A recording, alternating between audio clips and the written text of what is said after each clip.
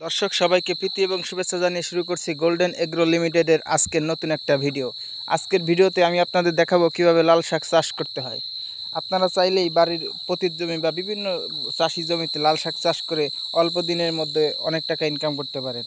আমি আজকে দেখাবো লাল শাকের মানে চাষের পদ্ধতি। প্রথমে আপনারা দল, বেলে দোয়াশ মাটিটা হালকা ঝুরঝুর করে চাষ করে নেবেন। তারপর ডিএপি ইউরিয়া ও এমওপি সার দিয়ে একটা মিশ্রণ দিয়ে সামান্য পরিমাণে আবার একটা ঝুরঝুরে একটা কোপ দিয়ে একটা মই টেনে মাটিটা সমান করে বীজগুলো বুনিয়ে দিবেন। বীজগুলো বুনিয়ে দেওয়ার পরে হালকা একটা ময়ের মতন দিয়ে দিবেন, যাতে করে বীজগুলো মাটির উপরে ভেসে না থাকে। তারপরে হালকা সেচ দিয়ে দিবেন, ফিতা পানি দিয়ে পানি একটা সিটা নিয়ে সেচ দিয়ে দিবেন।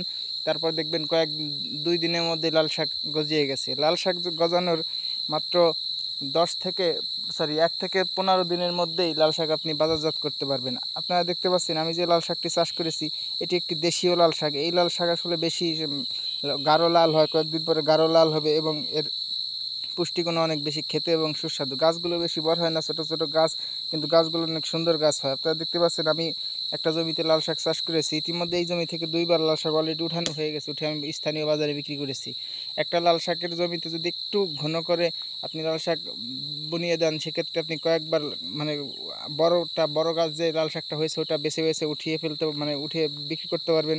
পরে আবার ছোট গাছটা আবার বড় হয়ে যাবে। আপনারা চাইলে এই পদ্ধতি অবলম্বন করে একা মানে একটি লাল শাক বপন করে আপনি বহুত দিন প্রায় এক থেকে দেড় মাস পর্যন্ত আপনি ওই জমির লাল শাক আস্তে আস্তে করে বাজারজাত করতে পারবেন বা খেতে পারবেন। লাল শাক একটি পুষ্টিগুণ মানে পুষ্টিগুণ একটা সবজি। এই লাল শাকে প্রচুর পরিমাণে ভিটামিন এ থাকে, আরও বিভিন্ন পরিমাণ পুষ্টি থাকে।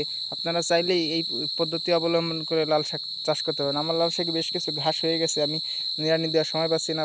নিড়ানি দিলে আর, আরও অনেকটা ভালো হবে। আমি কয়েকদিন যাবৎ লাল শাক বাজারে বিক্রি করতেছি। আপনারা যে বাণিজ্যিকভাবে চাষ করতে চান, সেক্ষেত্রে আপনারাও এভাবে লাল শাক বেশ পরিমাণে মানে দুই শতাংশ বা তিন শতাংশ পরীক্ষামূলকভাবে চাষ করে দেখতে পারেন। লাল শাক একটা লাভজনক এবং অতি দ্রুত বৃদ্ধি পায়। বর্তমান লাল, এই বর্তমান সামনে শীতকাল, লাল শাকের চাহিদা অনেক।